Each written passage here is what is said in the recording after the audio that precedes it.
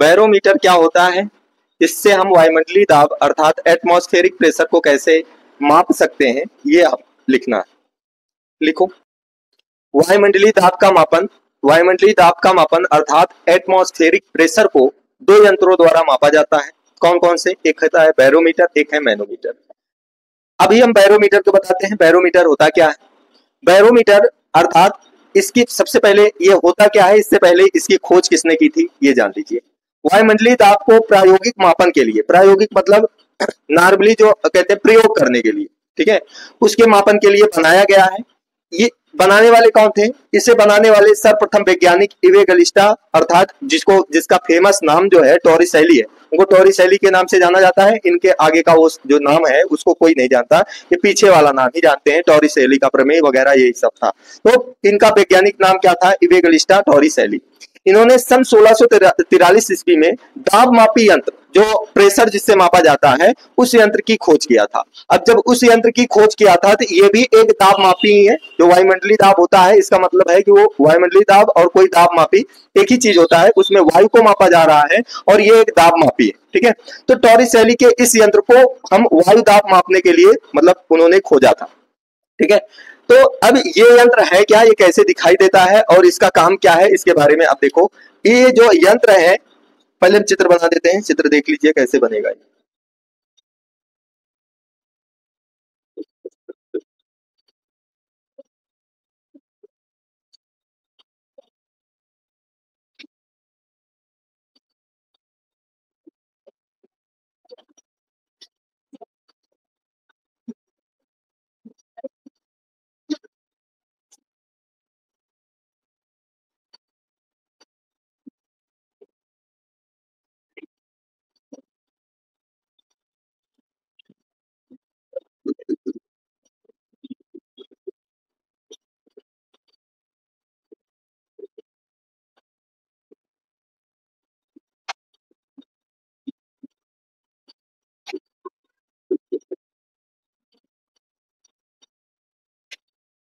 थोड़ा समझ लीजिए। ये बैरोमीटर है।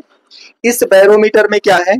ये एक आपका जो कांच का ग्लास है पूरी तरीके से, ठीक है? और इसके अंदर तरल कोई लिक्विड भरा हुआ है और ये एक ग्लास है, कांच का ग्लास है। इस कांच के ग्लास में पारा भरा हुआ है। पहले देख लीजिए क्या है। यहाँ तक हम बता चुके थे इनकी खोज किसने किया था और किस लिए किया था, ठीक है?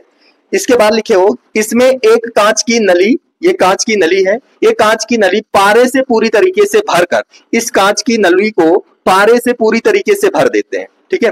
पूरी तरीके से भरकर इसके खुले मुँह को, जो खुला हुआ मुँह है, जैसे गिलास ले लिए, इस गिलास, ये जैसे गिलास है, ठीक है? इस गिलास में पूरी तरीके से कांच भर तो पारा भर दिए, और पारा भरने के बाद इसको उल्टा करके मतलब इसके ये जो पूरी तरीके, जो कांच है, इसके उल्टा करके ऐसे डालते हैं, ठीक है? उल्टा करके जब डालते हैं तो आगे क्या लिखे हो? की ओर से भरे बीकर में डुबोई जाती है। जो इसके जो खुला हुआ मुँह है, वो जो इस बीकर में जो पानी लिक्विड भरा हुआ है, उसमें डुबो दिया जाता है। क्योंकि पारे का निचला सिरा जो है, वो वायु में, वायु प्रवेश नहीं कर पाता है, इसलिए नली के ऊपरी सिरे, अर्थात ऊपर वाला भाग, जो यहाँ वाला भाग है, ये वाला भाग निर्वात रहता है। अतः बिंदु ए पर दाब जो होगा, वो निर्वात के कारण शून्य हो जाता है। फिर से एक बात समझिएगा। ये एक बीकर है, ठीक है? इस बीकर में कुछ लिक्विड भरा हुआ है। लिक्विड कुछ भी हो सकता है। ठीक है? एक कांच का ग्लास लिया गया, इस कांच के गिलास में पारा भर दिया गया। पारा भरकर इसको ऐसे उल्टा करके इसमें जो लिक्विड भरा है, उसमें ऐसे डुबो दिया गया। जब इसको ऐसे डुबोएँगे तो पारा का कुछ हिस्सा जो इसमें भरा हुआ है, वो इसके नीचे जो तरल है, उसके पास आ जाएगा। और कुछ हिस्सा जो है, जब नीचे चला जाएगा तो पूरा भरा हुआ जो पारा है, वहाँ ऊपर की तरफ़ कुछ खाली हो जाएगा। खाली होगा कुछ? जो ऊपर की तरफ़ खाली होगा, अर्थात जो बिंदु ए था उसके ऊपर, क्योंकि ये पूरी तरीके से ये जाम कर देगा मतलब इसमें वायु जो है वो प्रवेश नहीं कर पाएगा उस जगह। जब वायु प्रवेश नहीं कर पाएगा तो ऊपरी हिस्सा मतलब इतनी दूर वायु का नामो निशान नहीं बचेगा। जब वायु नहीं होगा तो ये ये भाग क्या हो जाएगा? निर्वात। और निर्वात पर किसी का दाब नहीं लगता है। अर्थात, जो बिंदु ए था, बिंदु ए पर कोई दाब नहीं लगेगा इस समय। क्योंकि ये भाग क्या है? इस जगह पर कोई दाब नहीं लगेगा, क्योंकि इस भाग पर ये भाग जो है निर्वात है। ठीक है? यही चीज़ लिखे हो। अर्थात यहाँ पर ऐसे भी लिख सकते हो या बता सकते हैं कि जो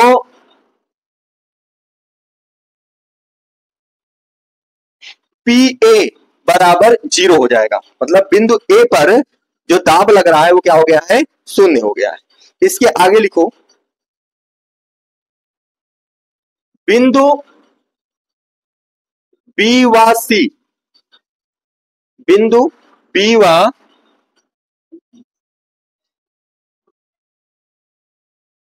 सी, समान तल पर है।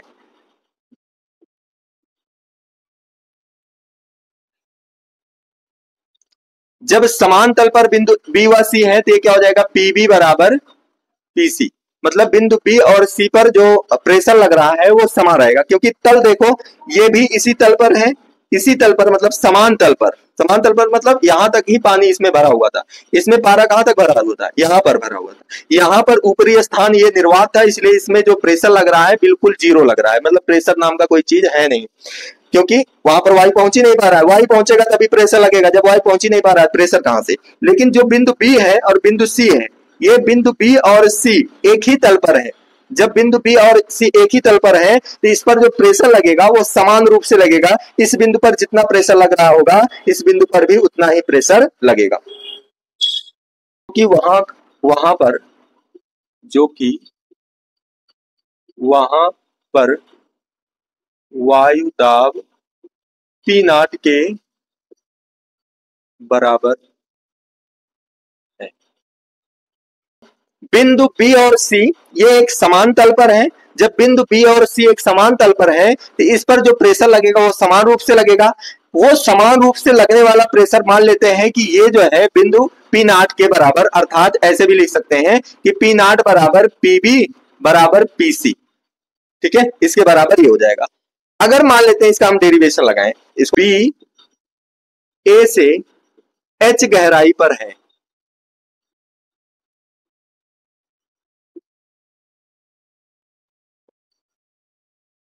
देखिए, जो बिंदु बी है, वो ए से कितनी गहराई पर है? एच मतलब बिंदु ए यहाँ पर है एच बी यहाँ पर है। इन दोनों का जो डिस्टेंस था हाइट थी, वो कितनी है? एच है। ठीक है? एच गहराई पर है पी बराबर क्या हो जाएगा?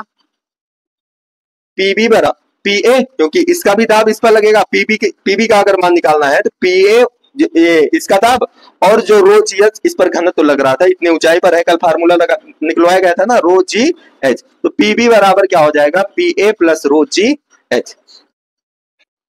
देखो, यहाँ पर लिखवाया गया है कि जो पीबी और पीसी को हम ऐसे लिख सकते हैं कि उसका वायुमंडलीय दाब पी नाट होगा। मतलब उस पीबी और पीसी का मान बराबर है, अर्थात पी नाट बराबर पीबी बराबर पीसी ऐसे हो सकता है कि नहीं? जब बराबर है सबका, जब प्रेशर, समान प्रेशर हर जगह लग रहा है तो इन दोनों की जगह पर हम नाम लिख, उसको बता सकते हैं कि इसकी, इन दोनों की जगह पर पीनाट बोलो भाई ठीक है? तो इसकी जगह पर हम क्या लिख सकते हैं? पीनाट लिख सकते हैं। तो जहाँ पर पीबी और पी ए है, वहाँ पर हम क्या नाम दे दें? पीनाट हाँ?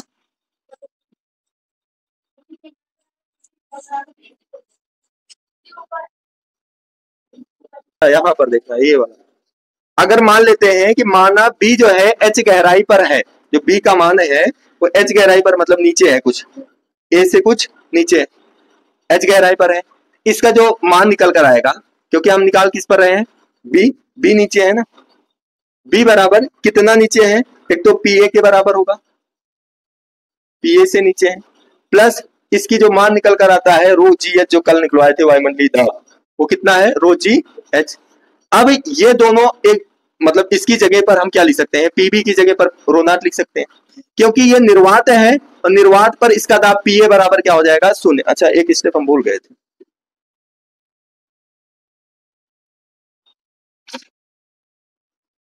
इसकी जगह पर हम लिख सकते हैं रोनाट की नहीं? रोनाट बराबर पीए की जगह पर क्या लिख सकते हैं? Zero plus rho G H. P naught बराबर क्या हो जाएगा? रो जी। एक स्टेप भूल गए थे, वही स्टेप अब हो गया प्रूफ बस डाउट खत्म। ये आपका बैरोमीटर आज खत्म हो गया है। कल मैनोमीटर पढ़ाएँगे। ठीक है? कल मैनोमीटर वाला टॉपिक चलेगा, आज बैरोमीटर